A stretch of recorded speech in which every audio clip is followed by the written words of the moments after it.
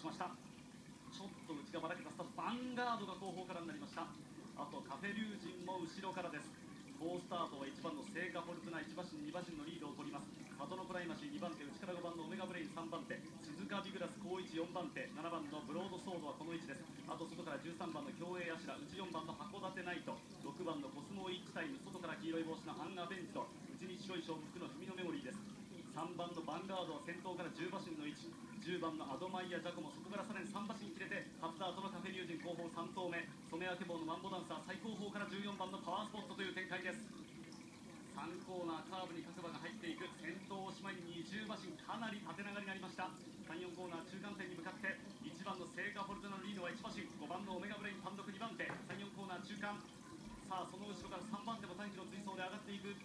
11番のサトノプライマシーという体勢だ。前3頭飛ばしている。4コーナーカーブに入ってきました。